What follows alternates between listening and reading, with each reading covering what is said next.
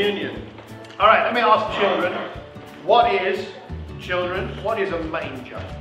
Who knows what a manger is? What's a manger, Elsie? Okay, so a manger is where baby Jesus was born or laid. But what else is a manger apart from the place where the baby Jesus was laid? Yes? A basket. It could be a basket. Thank you. Yes, what were you going to say? Crib. Okay, very good, William. It's where animals are fed food. Okay, it's where animals are fed.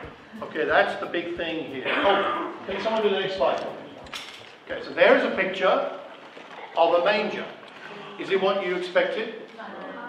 Not really. It's not like the main the pictures you see at Christmas, right? That's a manger. That's probably that's from the first century. That's from the, from Israel.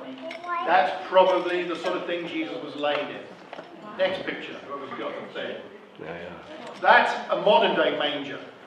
So Jesus was born today and put in a manger. That's what he'd be put in. That's a photograph I took at Alden at the country park Oh. with some sheep feeding there. Can you imagine laying mothers? Can you imagine laying your baby in this? Where all the animals have been eating, slobbering around. Not very nice. Next picture. Baby Jesus. Oh. In a very clean looking manger with very clean looking straw. It may not have been quite as clean and neat and tidy as that, right? The word manger is an animal feeding trough Which one is in a stable. And they were usually stone, like the one we saw earlier. Of course, manger is a French word for what, you Eat. French speakers? Eat. Manger. Right? It's where the animals manger, it's where they ate. Eh, in a translation into transliteration into, into English. In other words, it was dirty and disgusting. Jesus wasn't born into a comfortable life, into a comfortable world. He was born and laid in something that was just, just dirty and disgusting where animals ate. That's the world Jesus came into. And he came in willing, he came in willingly. He came here for us. He wasn't too proud to be associated with animals, and he's not too proud to be associated with people like us, who often, let's face it, are a bit dirty and disgusting, and not just physically. And we have our faults, we have our problems, we have our sins. He, was, he laid in a manger, in some ways, that's very helpful for thinking about the communion, because now we feed on him. Feed on him who was laid in a place where animals were. And that's what the communion is about. Taking bread and wine to remind ourselves that we feed on his bread, on his body and his blood shed and, broken for us. As it says in John 6, just as the living Father sends me, and I live because of the Father, so the one who feeds on me will live because of me. This is the bread that came down from heaven. Your ancestors ate manna and died, but whoever feeds on this bread will live forever.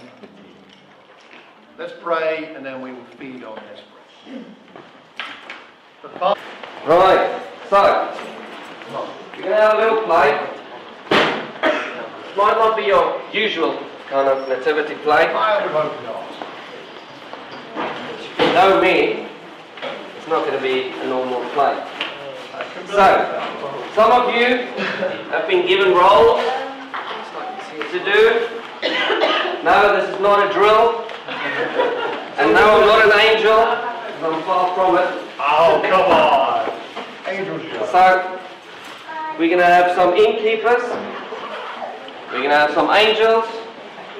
We'll have two lovely narrators that's going to read the story for us. When they read your character, the narrator, we'll have Becky here and we'll have Jude here. When the narrator read your name, hop up and come and do your thing here on stage. We'll have an amazing donkey, which is uh, flown in from a distant land. We'll have a lovely baby Jesus at the end, beautiful baby Jesus. And uh, so, uh, and Bill, last minute request. When Joseph come to the innkeepers and pretend to knock, can you do your beatbox? Yeah. Thank you very much.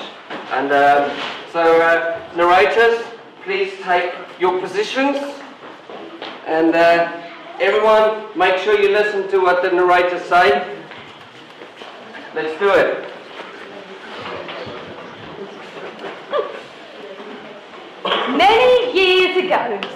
There was a young lady called Mary. From the Bible, I mean, not the baker off the telly. This one day, or maybe even night, an angel appeared suddenly and gave Mary quite a fright. The angel said, Don't worry,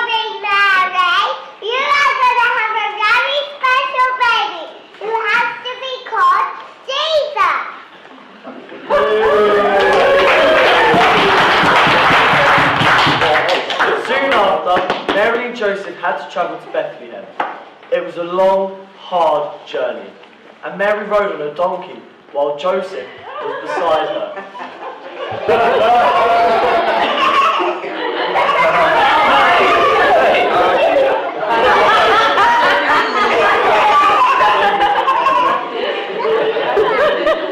Don't you breath?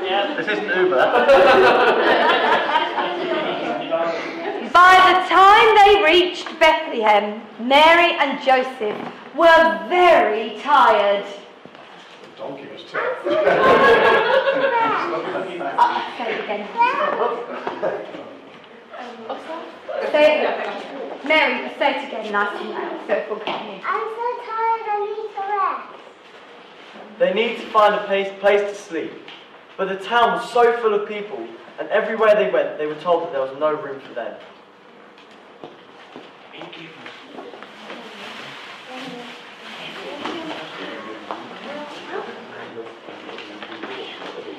William.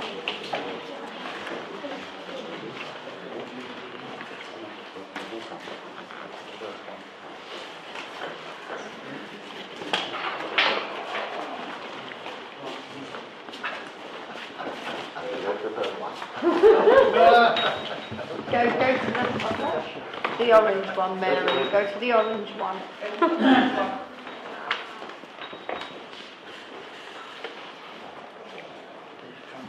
And there was a loud knock on the door.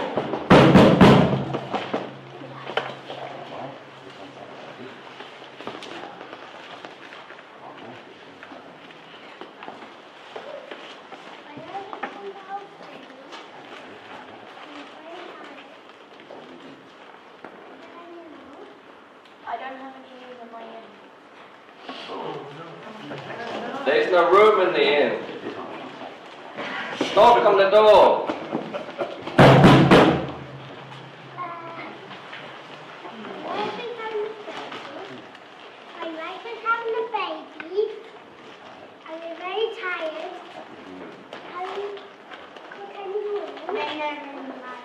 My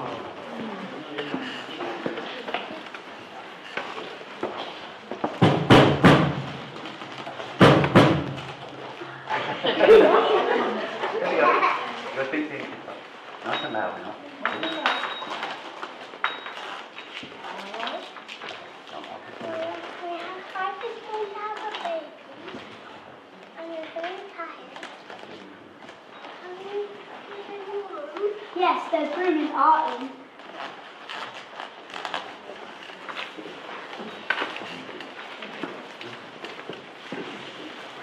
One innkeeper saw just how tired Mary and Joseph were. And then he remembered he had a stable where he kept his animals. It would be warm and dry. He said they could sleep there. Joseph made a bed of hay for Mary. All the animals came to watch over Mary. It seems that every creature wanted to see what was happening in this special place.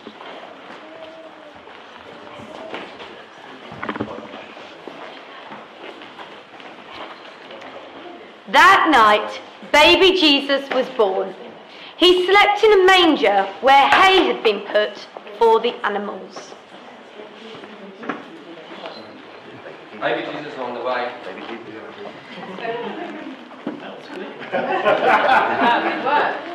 Now, in a field nearby, there were some shepherds. They were minding their own business, maybe cleaning their shoes, Socks. maybe trying to scrape off all the smelly sheep poos. But all of a sudden, something really weird happened. Out of nowhere, an angel appeared.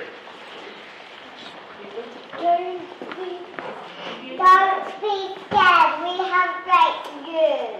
Jesus has been born. Thank you, Angel. Beautiful. Don't be afraid. Jesus has been born. You'll find him in a stable in Bethlehem. The shepherds were very happy at the good news and went to Bethlehem to find a stable. When they got there, they saw the baby Jesus lying in the manger. There were also some wise men in the story. They had been travelling a very long way, but they didn't use Google Maps. They followed a star.